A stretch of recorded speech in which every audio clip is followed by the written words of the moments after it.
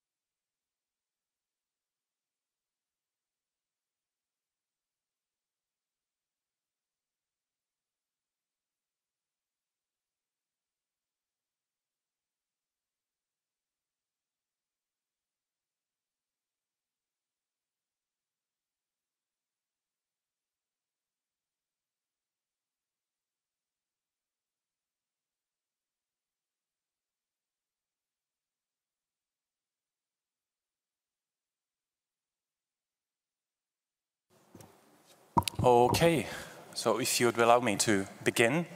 Uh, good afternoon uh, and welcome to a panel on disinformation online, reducing harm, protecting rights. Uh, I am very happy to see so many of you despite that the lunch break has just started. Uh, we have three brilliant speakers here, uh, and they are actually sitting in the alphabetical order. Uh, so, so, we have Damien Tambini, uh, expert in media and communication regulations at the London School of Economics. We have Miranda Sissons uh, from Facebook, where she's the new director of human rights. And we have senior expert from NATO's uh, Strategic Communication Center of Excellence, Sebastian Bay.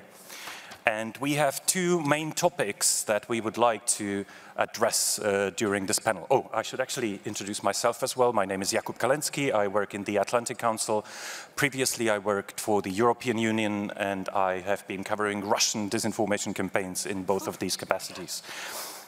Uh, we have two main topics uh, for this panel. Uh, the first one is uh, what are the emerging challenges and approaches to tackling disinformation? And the second topic would be, what have we done so far and what else do we need to do? And the way we are going to do this, I will have two rounds of questions uh, uh, for the panelists. Uh, I will give them five minutes each uh, for their answers. And I hope we will have uh, 20, 15, 20 minutes for questions uh, from the audience. So please prepare your questions for this final part. And uh, since this panel is so short, just 60 minutes, uh, let us kick off. Damien, uh, please tell us, what do you see as the uh, emerging challenges in countering disinformation, the emerging threats, uh, what keeps you awake at night, as they say? I, th I think one of the key challenges as we approach disinformation is to, is to be absolutely clear that it's a very different problem in democracies to non-democracies. So everything I have to say today will be about how democracies deal with this particularly difficult problem. And what I think my main message is, is that we need to get away from a whack-a-mole approach. So disinformation pops up here and there along with other problems of undesirable content. And the regulatory problem is to block it, stop it, filter it, um, and uh, then potentially move on to the next problem. I would argue that the intellectual change we need to make is to think about this systematically, think about it systemically. And there the problem is rather how in democracies have we evolved media systems that were optimized for truth and trust over the past previous centuries. Um, and my argument is really that in democracies we have a number of positive interventions. We have uh, institutions which have evolved, and we have a particular approach to freedom of expression in particular. Um, so this very interesting period that we're living, particularly in, in Europe, but also in other democracies, where we're trying to evolve new regulatory frameworks for tech platforms, for the various um, choke points and gatekeepers on the internet, this very interesting period is replaying a lot of things which have a, a, a deeper history. But some, some specific things uh, about what's, what's happening right now in terms of policy. Um, behind all this, I think philosophically, the reason we're having such a deep, profound, and prolonged debate about disinformation is because it's such a problem for democracies. Um, the three philosophical arguments for free speech uh, are uh, the argument from truth, from democracy, and from self expression. And for various reasons we don't have time to go into, the problem of disinformation poses deep problems for all of them. As a result, legally and constitutionally, in the way that uh, laws on free expression are constructed, there are new justifiable restrictions for free speech on the basis of national security and other justifiable um, ways of restricting free speech, both in terms of the UN system under the Universal Declaration of Human Rights, but also under the European Convention on Human Rights. There are new, clearly um, constitutionally and in human rights terms, uh, justifiable uh, restrictions. So what is happening to that and what are the dangers for free speech? There are different approaches. Uh, in some countries, new uh, forms of offence are being evolved. So the, the law on elections in France introduces new things that are illegal, new categories of illegal content. And there are many other examples of attempts to bring in fake news. And the key problem there is obviously who decides, how can it be independent, who depend, independent from the state, how do we avoid a ministry of truth? The second uh, way of uh, dealing with this is to introduce new procedural um, uh, and liability rules about how illegal or also potentially harmful content is dealt with. So you can see in NetzDG in Germany, new systems of fines, time limits to tighten up the restrictions. And we can see a wider debate looming on uh, the uh, exemptions from liability under the e-commerce directive and the US uh, uh, uh, legislation as well. So we have changes to uh, the uh, new forms of offence, new uh, procedures, and we also have various forms of self-regulatory approach, for example, the code of conduct on so-called fake news in, in, the, in the European Union. So Europe is, a, is, a, is, emerging something of a laboratory of new policies, um, but these engage a lot of very familiar uh, and, and uh, deep constitutional problems. So, what I would, in my last minute, uh, call for is um, real action to actually uh, try to bring together democracies to bottom out some of the real philosophical differences. There are deep differences between European Union, um, uh, sorry, European Convention approaches to whether it is justified to positively intervene uh, to promote truth and trust in the way I would argue systematically uh, European media systems have done in the past.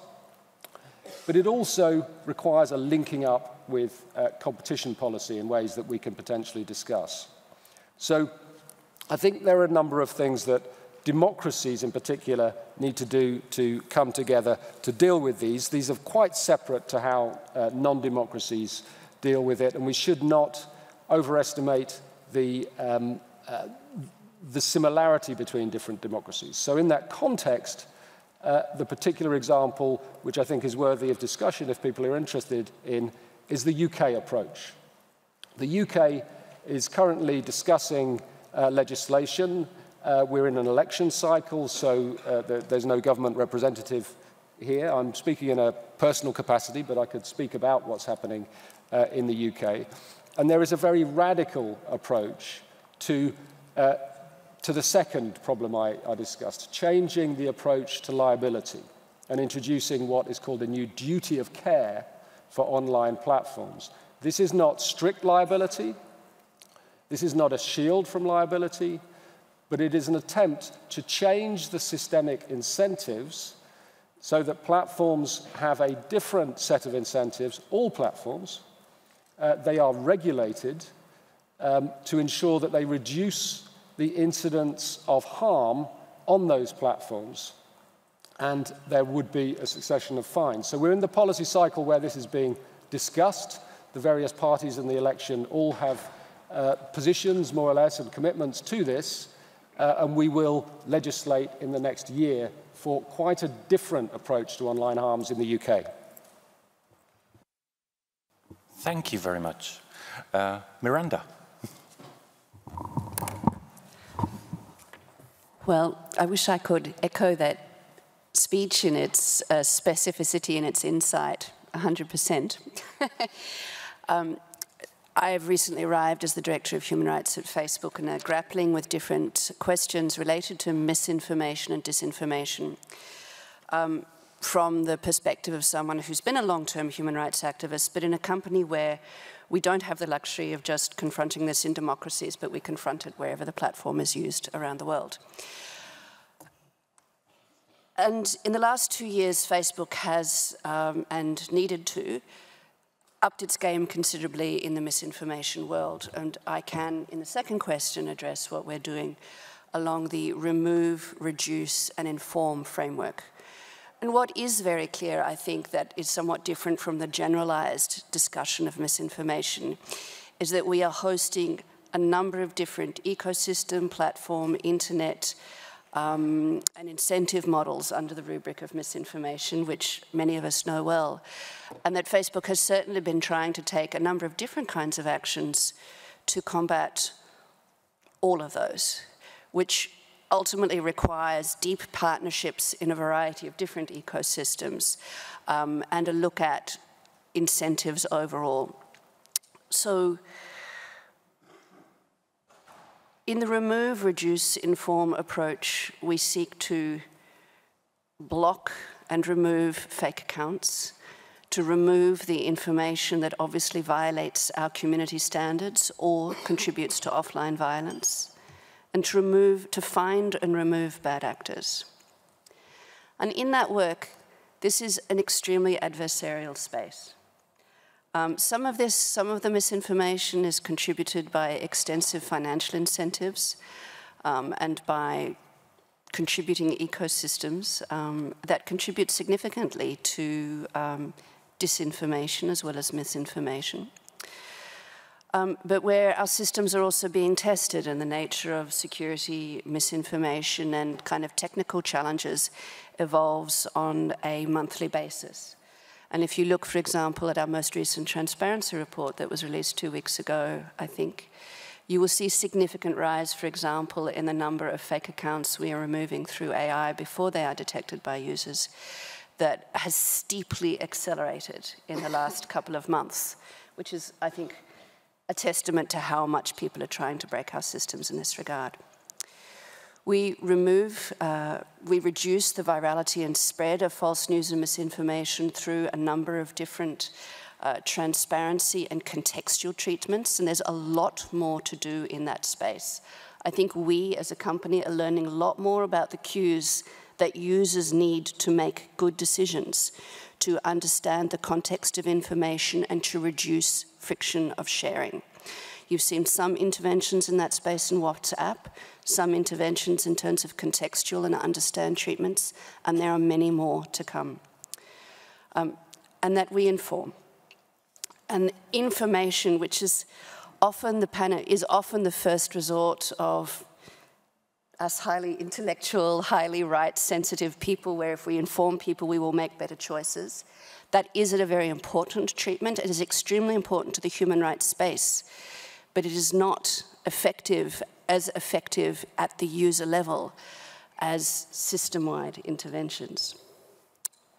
So I think if you ask me what's new in this space and what keeps me up at night, it is in fact that the that I hope that this conversation, uh, which is, I think, a very fruitful one, can be driven to the questions of prevalence and dynamics of incentives and ecosystems in a way that makes it actionable.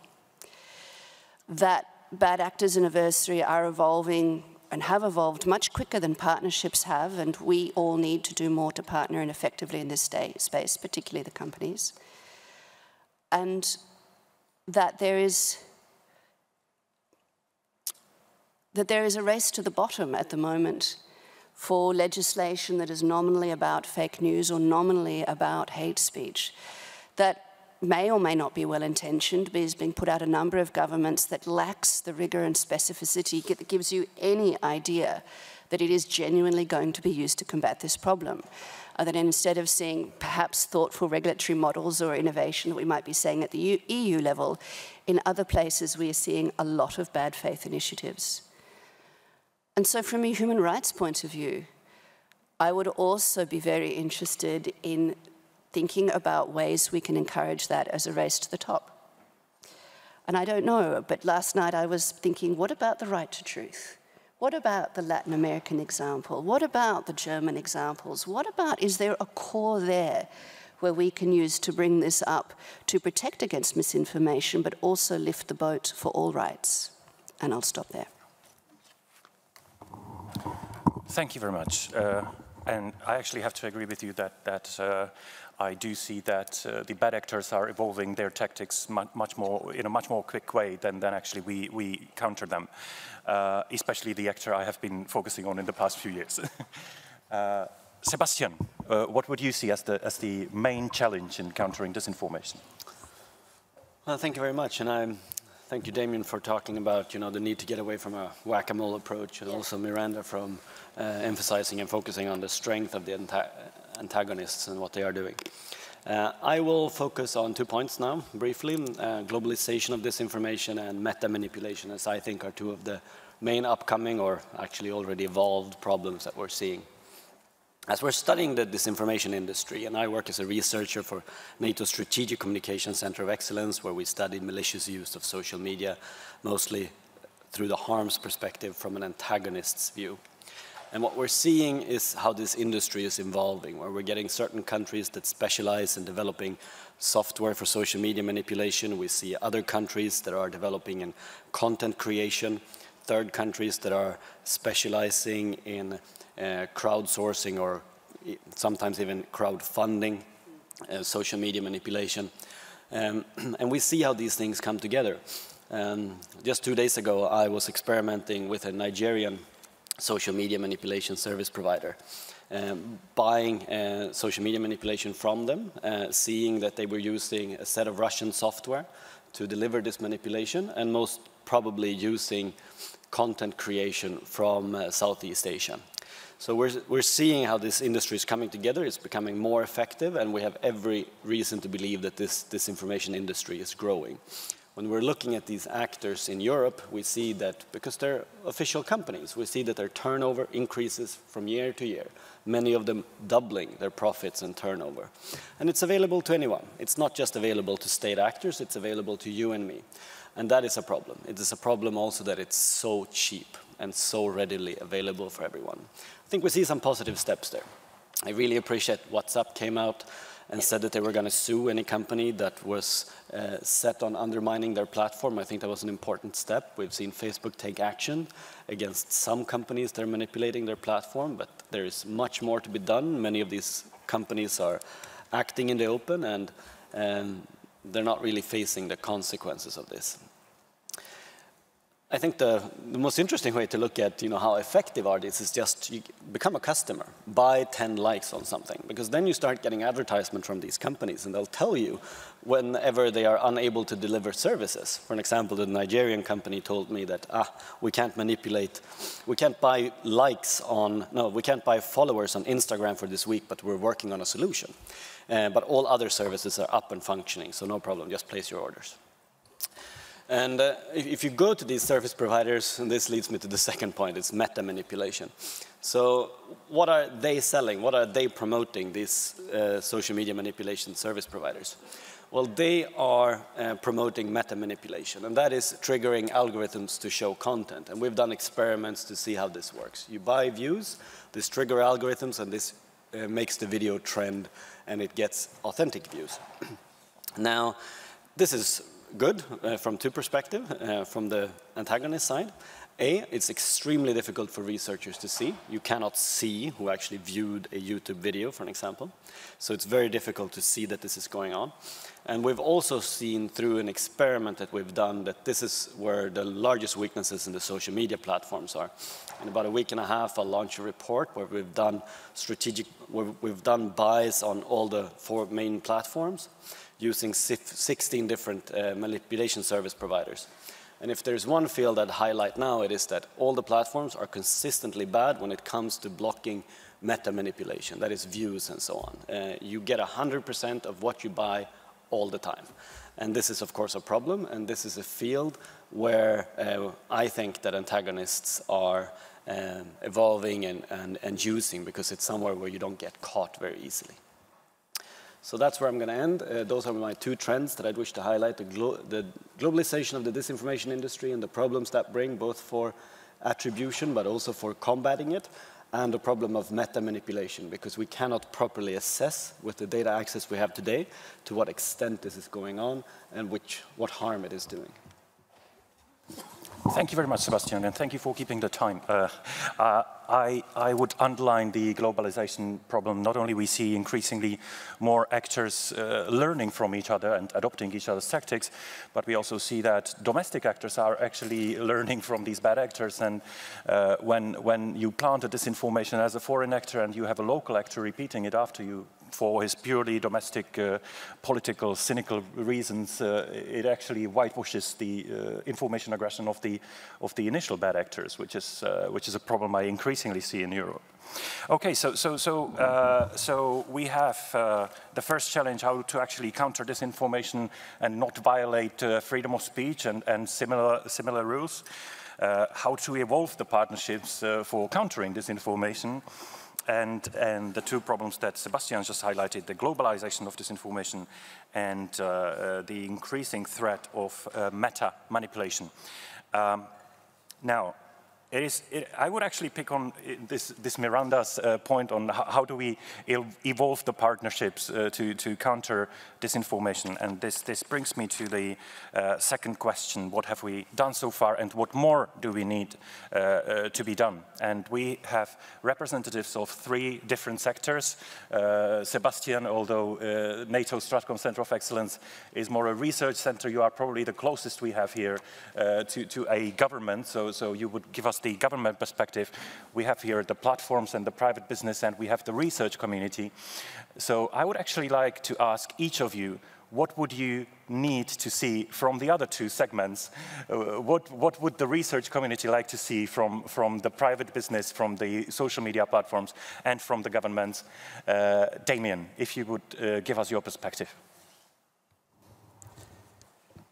Uh, well, from the, from the platforms, it's data unconditionally on our terms. We don't need to go into that um, uh, in too much detail. It's an old debate. But can I just pick up, because we've been discussing this in terms of a security problem and speaking about adversaries, and there's a point which is very often missed, and it's a fundamental point about deliberate disinformation and so-called info war. This is a war on democracies by non-democracies. It is asymmetrical. If one of the participants in this conflict uh, has genuine popular sovereignty, then it matters if the opinions of its citizens can be manipulated. If the other participant does not have popular sovereignty, you can have exactly the same disinformation against that adversary with no impact at all on that uh, that nation state's ability to act and ability to respond. So it's a war by non-democracies on all democracies and on democracy itself. So when we consider how to respond to this and the role of platforms, the role of governments, it's absolutely fundamental that any solution builds but does not undermine trust. So just to pick up on um, you know, for example, just a, a, a dominant platform like Facebook,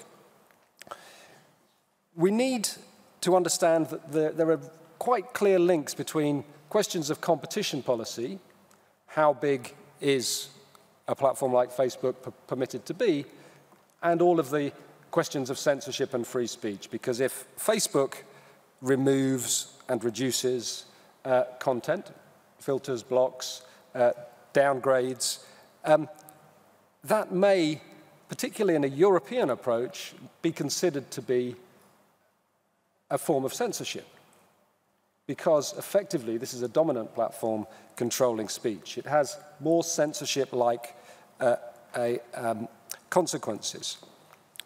But also, it's entirely, um, uh, it's, it's, really very important that the, um, the trust that the public and civil society has in any of those processes involves information and in, involves genuine ownership by civil society of those mechanisms for filtering and taking down, all of those mechanisms for responding to what might be considered adversarial content by some, but potentially by not all of the citizens. So the issue of independence and ownership by civil society of those censorship-like um, processes is fundamental for the ability of democracies to deal with what is a really fundamental challenge without damaging trust in democracy further. We're in a very critical moment in democracies in terms of trust. So this is a key issue. Um, it, when we're developing uh, platform-based solutions, they really must do more to involve civil society and ensure that they're trusted. Otherwise, their filtering is just another conspiracy.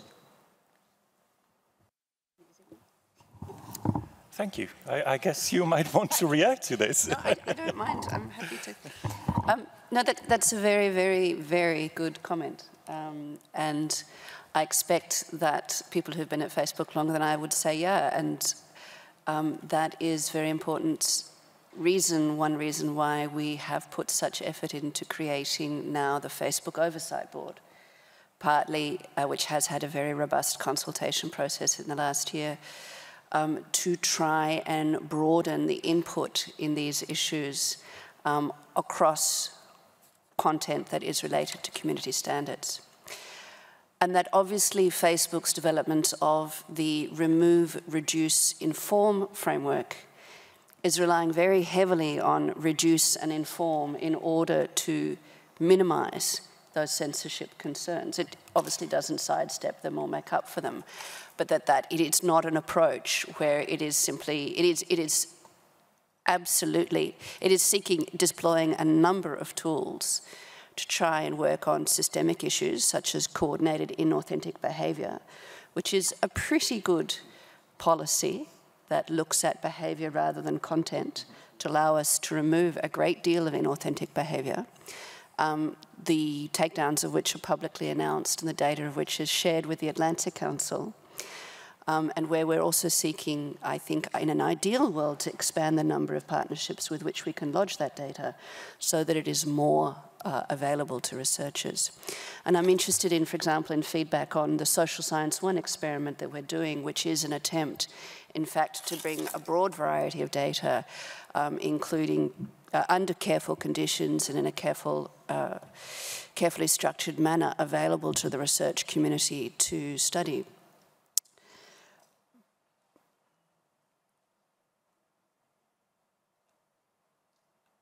I'm not sure, I mean, I think this question, though, is a fundamental one to do with trust, which is why uh, one has to also look at the frameworks that engender the most trust and that will work differently in different societies. But in the human rights framework, even within freedom of expression, because freedom, as the global director of human rights, of course, I don't just care about freedom of expression, and I'm quite a sophisticated user of the freedom of expression, including all of the permissible limits on freedom of expression, which include limits for the, to acknowledge the rights and responsibilities of others for public order. Um, but must meet certain tests. They must meet tests of lawfulness and legitimacy. Um, they must meet uh, to be necessary to protect rights and democracy and tests of proportionality. And it's a little bit to the detriment of the human rights framework that these very good tests are kind of technically locked away in lots of jurisprudential boxes and it makes it very hard for broader audiences to engage in them. But I think on my first day at Facebook and a policy on voter suppression and and somebody said, oh, restriction of speech. And I said, you have to be joking. Look at the guidance of the Human Rights Committee. It is perfectly permitted under a human rights framework to reduce the manipulative misinformation directed at voters. Um, and that part of my job is, in fact, to bring some of the strength in the framework into the rather arid debates over freedom of speech that, that have existed to date, and to bring the protective capacity to environments. And when, when I look at that, one of my greatest challenges is, is to some extent the breadth of the gap between the disinformation, misinformation, and cybersecurity world, and in fact, the digital rights world in general and the broader human rights community that has worked and suffered from and been involved with debates around this stuff for, for 60 years. Um, and for me, as the Human Rights Director working with the cybersecurity team, passionately interested in disinformation, its impact, particularly in the most fragile environments where we see this Russian playbook having so much damage, that is one particular challenge that you know, we, for example, haven't surfaced here, but I think it's very important to surface in order to give, again, greater encouragement to that race to the top in all environments. Thank you very much. And I will actually have, have to have a question, but first I would like to ask uh, Sebastian. So, so uh, what has been done so far? What more do we actually need to be done? And what you, as a representative of the government slash research community, what would you like to see from the platforms, from, from other researchers? So um, being a government think tank, we have the uh, opportunity to put pressure on government as well. Uh, I think a lot has been done, uh, not the least in the sense that we've shifted discussion from regulating content to regulating uh, everything that surrounds this information, focusing on coordinated inauthentic behavior above all. Uh, of course, why we are interested in this is because antagonistic states are using these tools to undermine democracy. But when we study this problem, uh, we assess that as much as 90% of this manipulation is not aimed at states or democracy. It's aimed at commercial interests. It's ad industry fraud, it is commercial fraud, it's fraud directed at hotels.com or TripAdvisor or any other of such things. So yes, I'm a strong believer in that we need to regulate social media companies to force them to put more uh, resources into combating this problem, but also to make it more of a level playing field. And in the report we'll launch, one of the things that we'll show is that all social media companies are not equally bad at this or equally good at this. Rather, there is quite a big difference between different social media platforms, even plat with, within platforms or between platforms owned by the same company so that we can see that there's a big difference here and we need to make sure that that there's a level playing field. It can't be a race to the bottom from the perspective of who spends less makes the greatest profit. We need to make sure that there's a standard for how to combat these things online. Um, the other aspect of this, and I already mentioned it, is to regulate the market for social media manipulation. Just here in Berlin, there's a company, they have 11 full-time employees, they turn over over a million euros a year, and their only job is to, um, to manipulate uh, social media platforms. Now, I have a difficult time seeing the legitimate reasons for allowing these services to exist, but I also think that social media companies could have done more in the past to, um, to fight back against these companies. Um, nonetheless, least because we see that many of these social media platforms, they, they use the, these, um, the social media manipulation service providers, they use social media companies to market their services. You'll find YouTube channels where they have tutorials on how to buy fake YouTube likes. You'll have Instagram channels where they are marketing their services. You'll have uh, them buying Google and Bing ads to promote their services. And this is a little bit like the bank allowing the robbers to do recruitment on the bank notice boards. Uh, it's, it's, it's the immediate and simple step you can take to make it more difficult and more expensive to buy these manipulation services. And, and we need to, to take those steps. So I really appreciate what WhatsApp has done in saying that we're going to sue any company that offer these services. I think that's an important step. I also think that we need to standardize to a much larger extent when it comes to reporting and terminology. And I think uh, the government probably should have a lead in this. Uh, uh, if the industry isn't able to do that. For an example, each social media company reports on the number of blocked accounts. Well, there is no standardization for what accounts, what is a blocked account. So it's very difficult to look at all the platforms and say who's better or worse at this.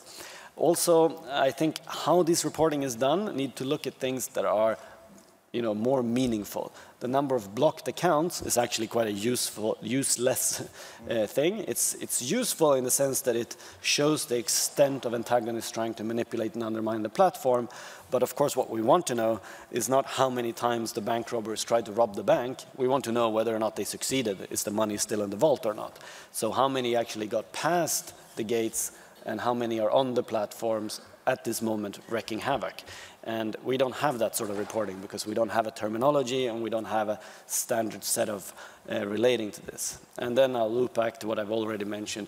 We need to standardize uh, and incentivize the amount of resources that social media platforms put into this. We've seen when we've looked at this that technical know-how, strength of platforms, how they were built, resources put in by the different companies, it makes a big difference. It can make a difference, 50% difference between different platforms and their ability to combat this manipulation industry. I.e., we need to hold all these companies to the same standard, and that's probably a standard that needs to be set by government. Um, but I think it will actually help social media companies because it will level the playing field, it will make it fair, it will make it uh, in the sense that uh, if every company have to put in the same amount of resources, uh, it will make it easier to compete in this field. So I think that will, it's a thing that will be mutually beneficial. Thank you very much. I'm always grateful for very specific recommendations. Uh, uh, happy to hear that. Before I open the floor uh, for the questions for the audience, uh, I, I, will abuse my authority as the moderator and let me pose a question to the panelists. Uh, I, while I do understand uh, the concerns whether we do not violate the freedom of speech um, by certain measures on social media, I, I, think it's always useful to emphasize that we already do have limitations to freedom of speech. In, in most of the countries, it's illegal to deny Holocaust. in my country, it's illegal to spread false alarm stories. I couldn't call to this building and say, there's a bomb, you should evacuate everyone and cause panic and, and chaos. Uh, and if you have a look at what those disinformation-oriented outlets uh, present, they are trying to persuade you that uh, the EU or your own government is committing terrorist attacks against its own nation, uh, that they are trying to substitute the white population with Muslim migration, and they are organizing the migration because of that. In my opinion, we should be thinking whether the laws can't be adopted also, also in this case. What do you think about labeling the notorious disinformation-oriented outlets, uh, similarly to the tobacco approach? We do not ban tobacco, we just say it will harm your health. Uh, and frankly, I, I, see no reason why YouTube should be recommending Russia Today videos about Robert Mueller's investigation, saying that um, Robert Mueller hasn't proven any Russian meddling into the US election. It's a lie. We know that Russia Today lies. Why should be YouTube recommending a notorious lying outlet? Shouldn't they label it as a toxic source of information, similarly to a tobacco product? Well, just briefly, I mean, there is there are a couple of problems with labeling. I mean, I, in general, I think it's a, it's a reasonable thing to do. If we assume, though, that it's going to be a solution, we might be making the wrong assumptions on the extent to which humans seek truth. Uh, the, the, research tends to suggest that when deciding whether to uh, be uh, affected by something, whether to share something, whether to like something, uh, whether to read something, whether it's true, true or not, um, or labeled as such, isn't a great um, incentive, or it's not a great, it doesn't make a huge amount of difference. And in fact, it can have perverse consequences. So it might feed the conspiracy theories, it might uh, make something, you know, something they're trying to hide from us again um, uh, for, for a significant amount of the market, and that may in turn um, contribute to virality of, of, of content. So in general, labeling is a good thing. I think there's another set of questions around um, uh, machine readable labels and whether labeling is something which is done by AI um, and read by AI. Um, and I think that there are a number of cross-cutting issues which apply to, to everything in this in, ter terms of who is setting the standard, which uh, would trigger the label, who is making the labeling decision, all of which have implications for censorship and trust and all of the, the things that we're wrestling with, and we need to be very careful. It's not impossible, and it's not that I say don't do it, but I say beware of the challenges. Uh, just uh, very short reaction. Actually, in Slovakia, they have this initiative called Konspiratori.sk, and uh, they have a board of uh, media professionals like journalists, academics, etc., uh, etc. Et and, and this is actually, so, so a group of like 40 people decides, yes, this outlet belongs to the list of disinformation spreading outlets. And then they are pressing the companies not to advertise on, on, on these outlets. Uh, so, so there is already a precedent for this. I was just going to say, I guess we'll find out a lot about labeling because Facebook is now labeling state media or intending to from this mm -hmm. month or has just launched it. Um, using criteria of the, of the editorial independence criteria in the Facebook News tab. So, I mean, let's see. I think, I think we're in the position of, of knowing that there are many challenges and hoping it will be effective and that there is, as I mentioned, with our contextual treatments, um, we'd always like them to be more effective than they are because that's the first and easiest way to try and inform people that what they're seeing and wanting to share may not be worth sharing. Mm -hmm. um, but um, let's see how that evolves. One of the fields in which uh, labeling has been discussed for quite some time is in the bot issue or automated account issue that we've said that it would be great if we could label automatic accounts. Uh, the problem is that we are unable to even identify what an automated account is now. And even when we do identify them and take them down, um, we have figures that show that on Twitter, for an example, account may stay up for five or 6,000 tweets before it gets removed. So um, yes, I think labeling would be good. It wouldn't have to necessarily need to be this tobacco package labeling of saying harmful. It could be a uh, this media outlet is owned by this state or controlled by this uh, group of interests. When it comes to technical labeling, labeling bots, uh, that is a, that is an industry challenge because we are unable to differentiate between real and genuine accounts, I would say. So thinking that we then can label all the bots is uh, it's not technically feasible today. And that comes back to the fact that it's too easy to create fake accounts. And that comes back to credentials and authentication online and the need to rethink that for the future. Thank you very much. So we still have 17 minutes left. Uh, I believe it was Stephanie who agreed to walk here with the mic. So do we have any questions from the audience? I see one here. Um, yeah, a couple of things. So on labeling, I've just shared on Twitter uh, an article that could you kindly introduce yourself? Sure. Please? My name is Courtney Radsch. I'm with the Committee to Protect Journalists. And I did an analysis when YouTube first launched a test pilot with um, labeling media outlets, and it's inconsistent. It would be great if we knew media ownership, but as having worked in the field of media development with colleagues here, oftentimes you don't know who owns a media. So labeling has all sorts of problems. I would encourage us to have a conversation and invite civil society who works in media to be part of these discussions because there is no one up there. And one of the concerning things I think about this conversation is that one of the most important antidotes in democracy specifically, which seems to be the context of this discussion, is quality journalism. And we haven't talked about how you can encourage and support journalism given the dominance of the platforms and incumbency there. And second of all, when we talk about um, looking at behavior and inauthentic behavior, we see all sorts of negative repercussions in non-democracies, such as Kashmir, such as Egypt, um, where, where accounts and content is being taken down that is not along the government or political party um, in power's point of view. So um, you know, I think this is an important discussion, but I think when we talk too much about technical solutions, it's good to hear that we are seeing um, the discussion around competition and antitrust and these sort of um, things being talked about, but you, none of you mentioned, for example, the ability to target or micro-target audiences.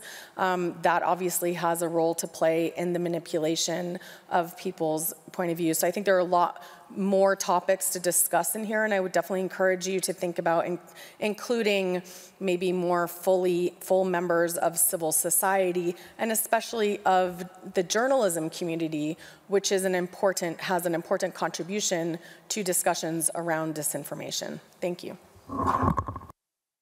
Thank you. If we could take uh, two more questions So we have one there. Hello. Uh, my name is Michał Woźniak. I work for the Organized Crime and Corruption Reporting Project in technical capacity. Um, I would just like to say that whenever Facebook is criticized for anything um, or, or, faces a, a, a, problem like, like this one, like disinformation, uh, we hear a lot about how the world is a big place. There's a lot of different, uh, you know, regulatory environments, and and in all of those places, Facebook has to work, and it's very difficult. And that's a fair statement. However, I would just like to point out that this is Facebook's decision to have become a monopolist and be this one company for everything. So I don't think it's fair to keep using this um, this trump card. Um, and so my question would be, would Facebook consider not using this argument um, in, in such the discussions? Thank you. You. And uh, we have one more question here. Uh, hey, I'm sorry. I'm Juan Pablo Madrid Malo. I come from Colombia. And so I have to give a little background of what's happening right now. As you may or may not know, Colombia is right now in some sort of turmoil, uh, ongoing protests. And just on Saturday, uh, a curfew was announced in the capital city, Bogota.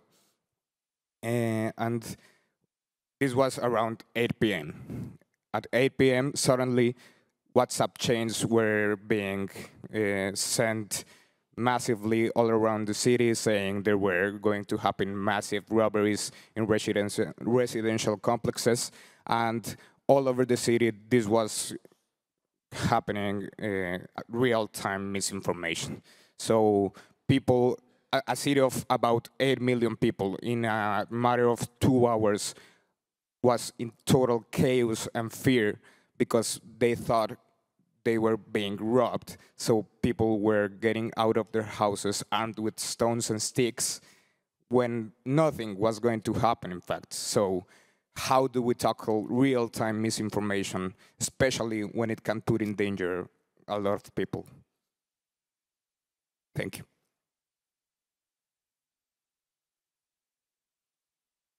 Thanks a lot for your questions. Uh, so, so we have a question on how, how, how do we support uh, quality journalism, because it, it is an essential element in, in countering disinformation. Uh, we have a question on how non-democratic societies abuse the, the rules for taking down content for their non-democratic purposes. Uh, we have a question directed at you, Miranda, if you would consider stopping using one of your arguments. and uh, how do we stop the uh, real-time disinformation campaigns? It actually reminds me of something that uh, happened uh, earlier in India, where also mass spreading of, of WhatsApp messages led to mob violence and, and even to death. So who would like to start? Sebastian. Um, I really appreciate the challenge of uh, regulating in democratic states versus non-democratic states. And I thought the opening statement by Damien was very useful there. I was in, I held a workshop in Nigeria two weeks ago and we discussed this issue and civil society there is legitimately scared of any type of regulation because it might strike back from a state that is not democratic. Now, does that mean also in democratic states we cannot regulate? Well, I'm a Swedish citizen and we like regulating, uh, i.e. I would argue, of course, that no, uh, there has to be a difference still. We have to recognize the challenges of regulation in non-democratic states, none the least because they often lack the technical capacity needed to do this regulation and oversight. I would say we lack that capacity in Sweden or in Latvia or even in Europe to a large extent, which makes it very difficult to regulate because it's a highly complex and highly knowledge-intensive industry. Um, and that is needed for good regulation, of course, to be effective and useful. Uh, one of the other arguments that, or one of the other questions that came up is how to combat real-time disinformation. I think this is probably the largest challenge, and when it, sitting here at IGF and thinking of from a global perspective and responsibility protect, to protect, it's very easy to come back and see these situations where it goes out of control, where social media platforms are no longer platforms for sharing information, they become command and control centrals for antagonists wishing to commit genocide and so on. This is a huge challenge, and one of the things we've been discussing within uh, the framework of the uh, Christchurch call, for an example. And I, we've come further. We've, you know, we've reached a consensus when it comes to defining the problem, but when it comes to solution, there's still a lot to go. So it's very good, I think, that we lift this problem because we'll need a different set of solutions for real-time emergencies and for spreading information that might or might not be true.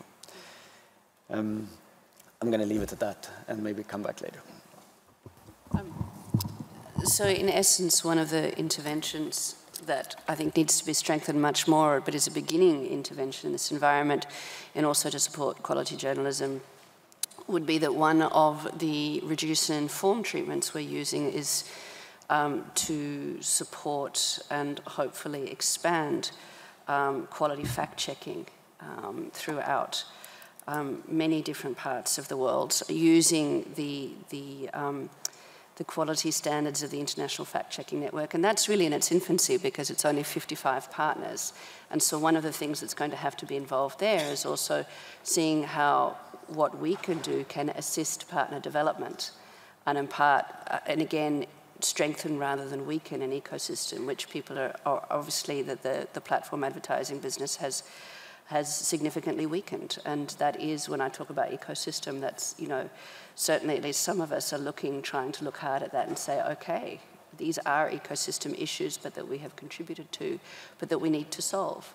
So that it isn't just a panacea to say that they are big and complicated.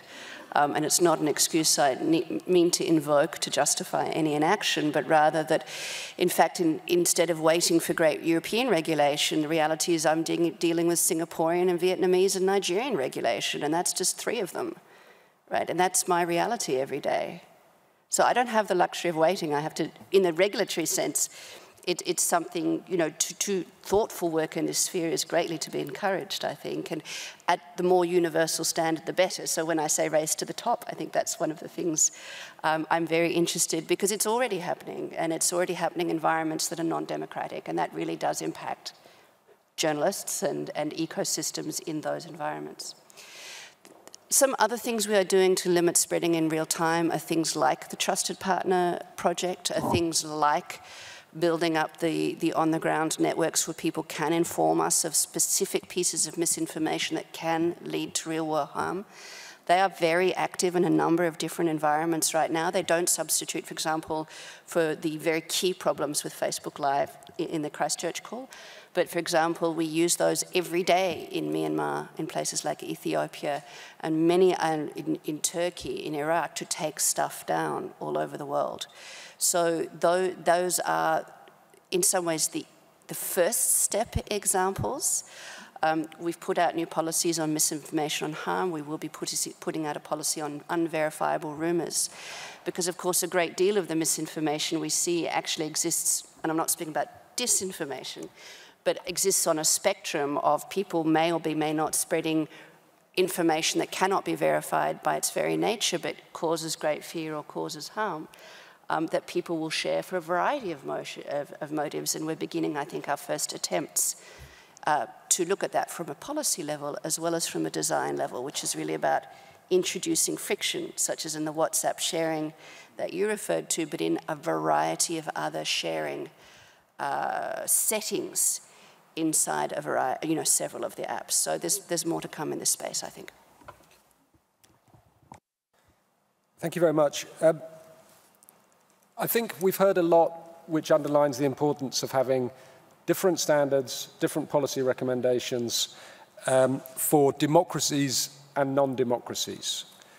Uh, and I think if there is a, a takeaway from this session or a potential recommendation, it may be that we need new uh, spaces and forums to have a deeper debate about freedom of expression uh, among democracies, uh, and one which accepts that uh, regulation and freedom of expression are not inherently opposed.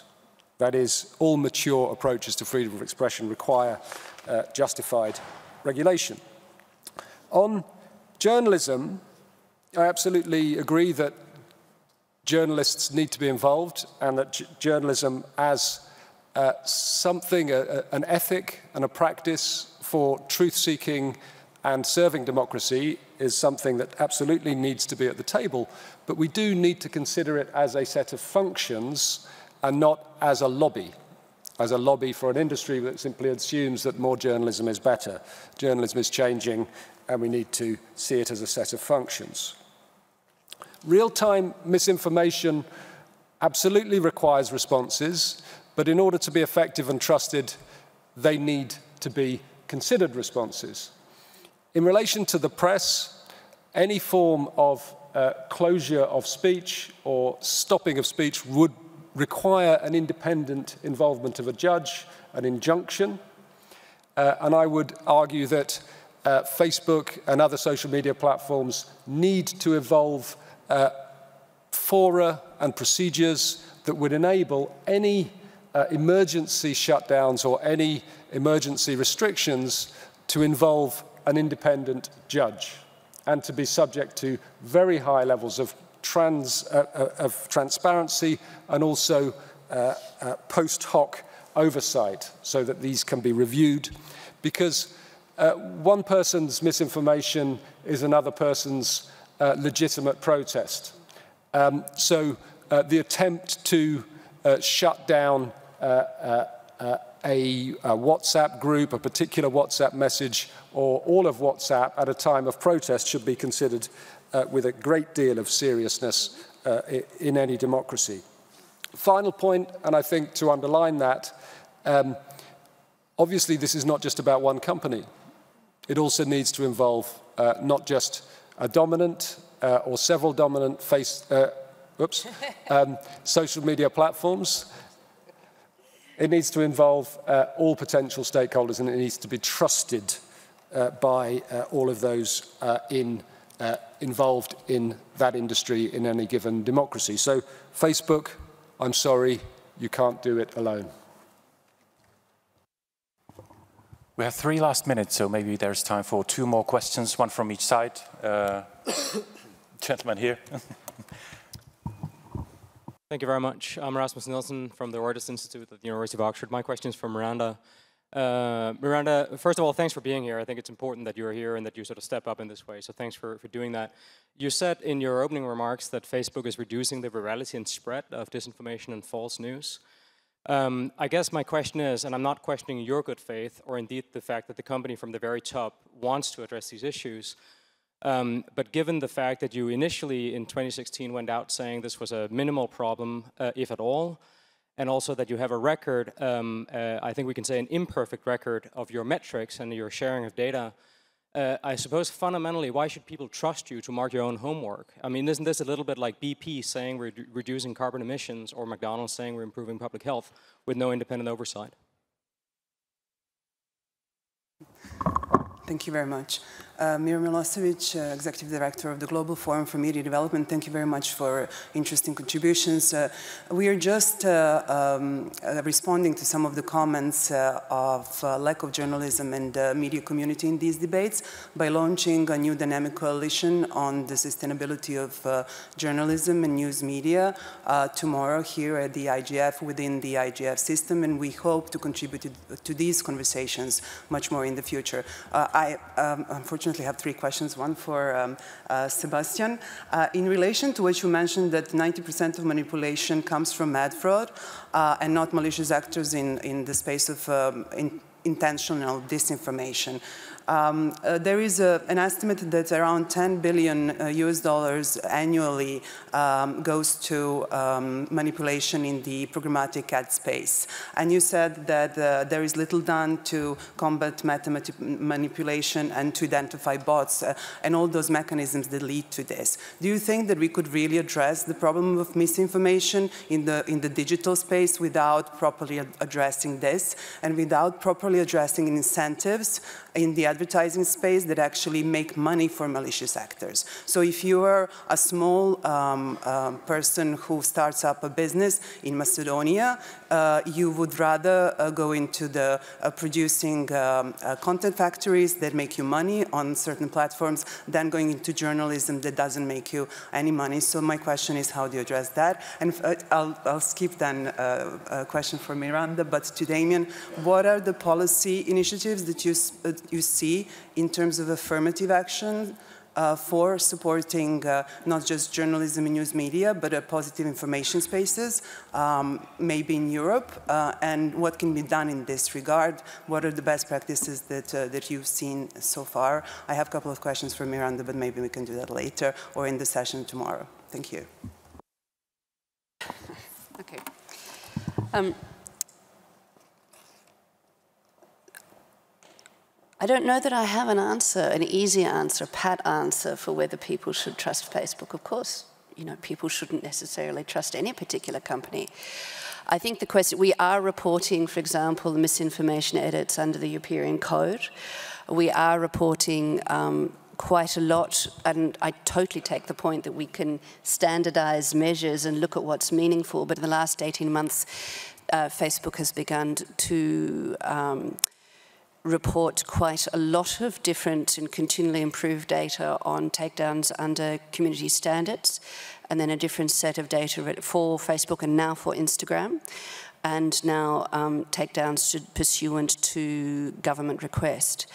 And they they, the methodology for those has been independently taken out to and um, scrutinized by uh, a particular Yale multi-stakeholder academic group that probably has an impressive name that I can't remember, but that to look that the data and the verifications were okay.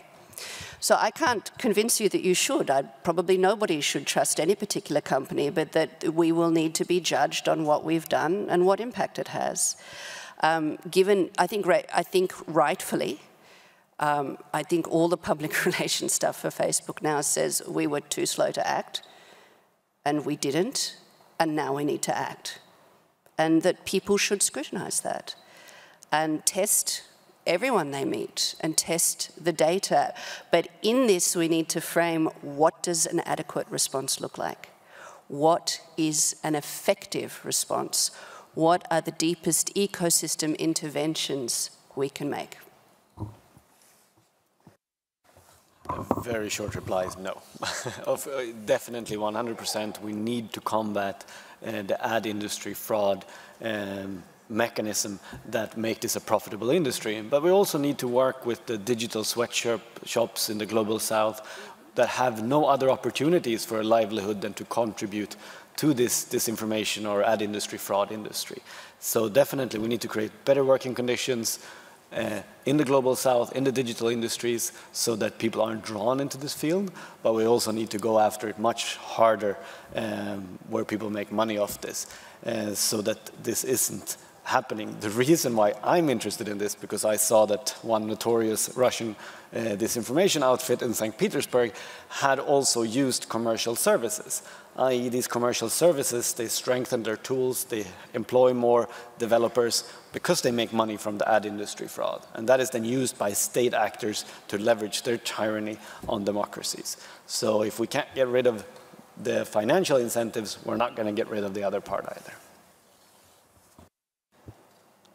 That's great. I started by asking for a systemic perspective, and I think we certainly had one on the panel uh, because we do need to think about really the business model and the entire political economy behind it um, in order to deal with that if we think about this systemically. Um, I was asked about policy initiatives. Um, in that systemic sense, we have somehow evolved a business model which has, for social media in particular, which has not been optimized for democracy. Um, it's been optimized for various forms of noise and vir virality and reinforcing of behavioral biases and things that maybe are not so good uh, for democracy. And any policy solutions need to address that at a systemic level. Um, I think we need to optimize, in a sense, for, for truth, um, whilst accepting that there are always going to be contestations about that, about how truth is arrived at, and questions about who is deciding standards, etc. But some of the things uh, I think are, origin uh, uh, are, now beginning to be spoken about. There are some interesting uh, policy proposals out there. I've mentioned in the UK an online harms white paper, which may lead to legislation uh, next year. Uh, many freedom of expression organizations have come out against that because it's seen as a centralized um, approach to deciding on uh, what constitutes truth and information. Um, but I think it's possible to evolve structures and processes that are independent of government and can achieve through transparency and civil society involvement sufficient trust with the overall framework.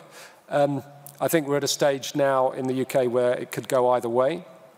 Um, I think it's important to think about funding, funding the good stuff, and that includes public service, media, and labeling and literacy that we haven't spoken about a great deal. Um, there is a, um, an approach to literacy which is more radical and which um, involves speaking more specifically um, uh, about linking up uh, filters uh, with literacy education that we could go into. Uh, but all of this needs to be linked to other issues such as tax incentives, um, uh, following the money, the ad exchanges, etc., in order to change the incentives and the business models and the overall competition and antitrust framework. If we look historically, particularly at the post-war period, in the wake of um, uh, authoritarian failure of democracy, we understand that there are periods when, for newspapers and for broadcasting, there were deep societal debates on how to evolve these institutions. I think we're entering one of those processes.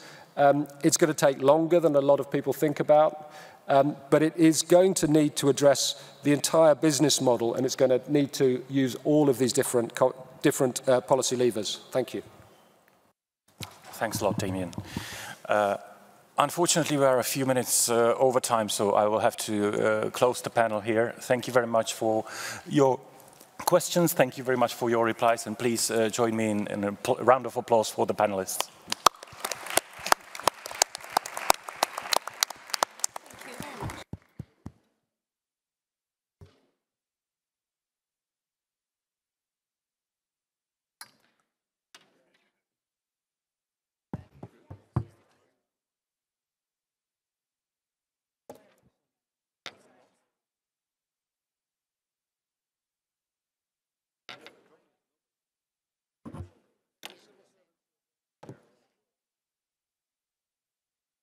get rid of the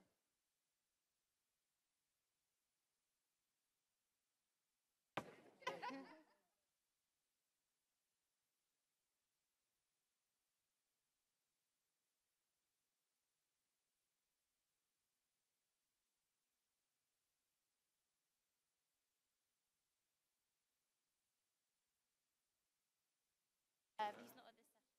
The IGF. Um, do you have his email? I have it, yeah. Yeah. Get the reception this evening.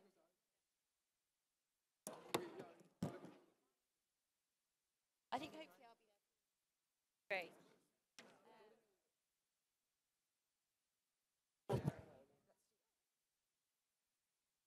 So that was one.